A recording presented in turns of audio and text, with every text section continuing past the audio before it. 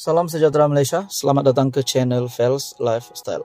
Tuan-tuan dan puan yang amat dihormati, terima kasih kerana masih setia bersama di dalam channel ini. Satu isu hangat hari ini.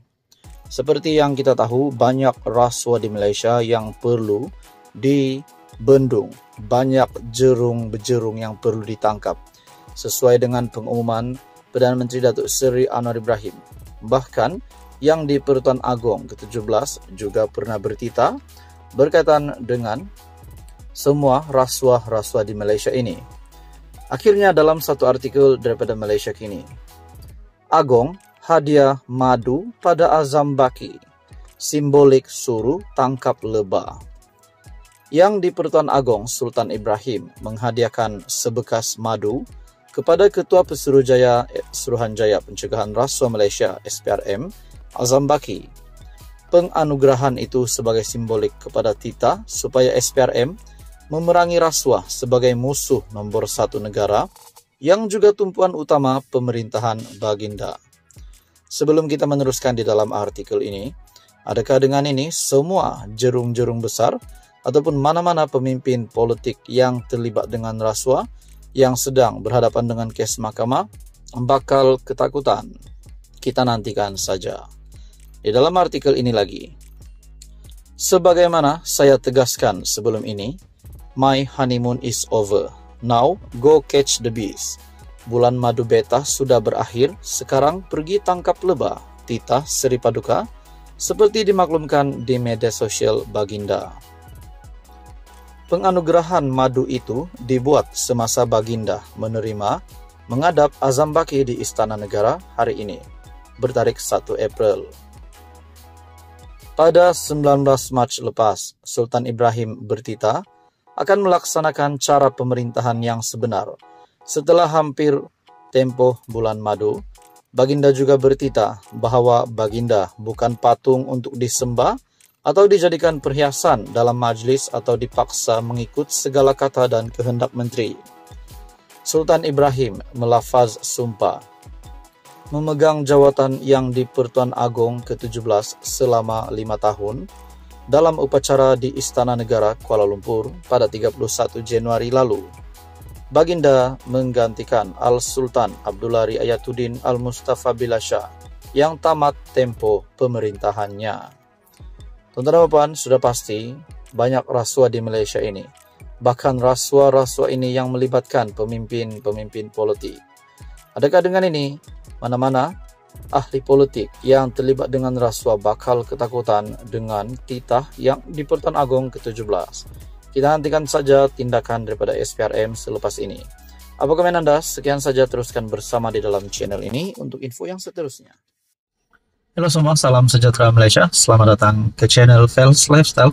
Terima kasih kerana masih setia bersama dengan admin di dalam channel ini.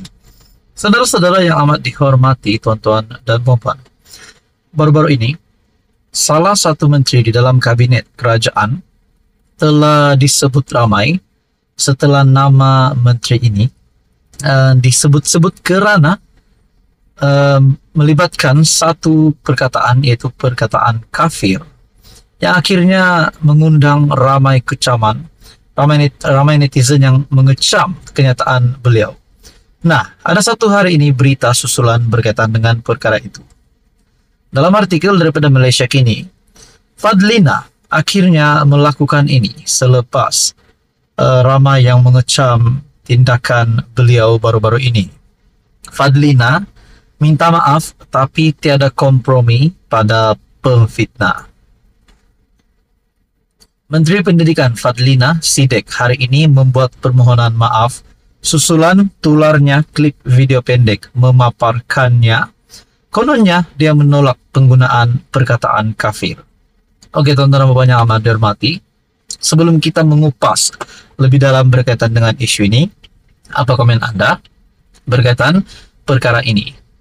Sudah pasti kita mahu uh, komen-komen uh, yang membina, komen yang positif, di mana menunjukkan bahwa kita ini rakyat Malaysia bertolak ansur. Tapi apa yang dilakukan Fadlina ini mengundang banyak kecaman.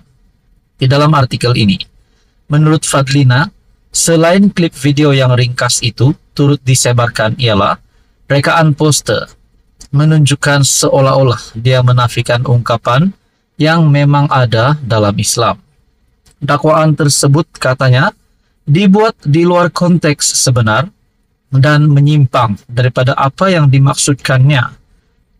Saya ingin memohon maaf sekiranya ada mengguris perasaan mana-mana pihak atas kesalahpahaman, keterlanjuran kata, dan kilaf yang datang daripada kelemahan diri saya, katanya dalam kenyataan hari ini.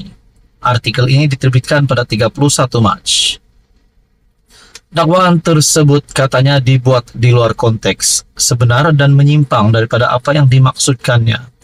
Menurut Fadlina, pandangan yang diberikannya itu dibuat dalam majlis tertutup ketika dia menyentuh kemelut penyebaran sentimen kebencian, sikap guhlu, GHULUW melampau. Maafkan saya sekiranya saya salah menyebut perkataan ini.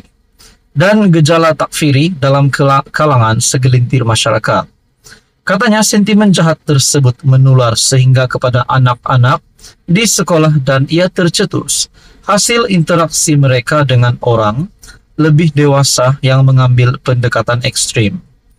Saya sebutkan bahwa saya tidak membenarkan anak-anak saya menyebut istilah kafir yang mempunyai konotasi kebencian terhadap warga non-muslim yang hidup bersama-sama dalam negara tercinta, jelasnya. Pada masa sama, ahli parlimen Nibong Tebal itu juga mengingatkan dia tidak akan berkompromi dengan sesiapa atau mana-mana pihak yang terlibat dalam fitnah terhadapnya. Saya tidak kompromi soal fitnah dan tuduhan jahat, serta kesengajaan penyelewengan konteks. Lebih-lebih lagi, ancaman keselamatan terhadap diri saya dan keluarga. Hakikatnya ia adalah suatu salah faham dan kesengajaan penyelewengan konteks sebagaimana dinyatakan sebelum ini. Sejak semalam tular dakwaan Fadlina mengharamkan penggunaan kalimat kafir termasuk di rumah dan dalam kalangan anak-anaknya. Juga satu gambar yang tular di media sosial sebelum ini yang kita dapat lihat. Uh, gambar uh, gambar Menteri Fadlina uh, dikatakan di sini perkataan kafir pun saya haramkan di rumah, saya tak ajar anak saya sebut kafir. Di bawah dikatakan anak sidek. Saya tidak pasti kalau ini memang benar kenyataan daripada Fadlina, namun perkongsian Fadlina yang terkini seperti yang di dalam artikel sebentar tadi saya sebutkan dari Malaysia kini. Akhirnya Fadlina minta maaf, tapi tiada kompromi pada pemfitnah. Persoalannya, adakah Fadlina boleh dikenakan tindakan undang-undang sehingga status beliau uh, sebagai menteri boleh terjejas? Nah, tuan-tuan dan puan, apa komen Anda? Sekian saja, teruskan bersama di dalam channel ini untuk info yang seterusnya.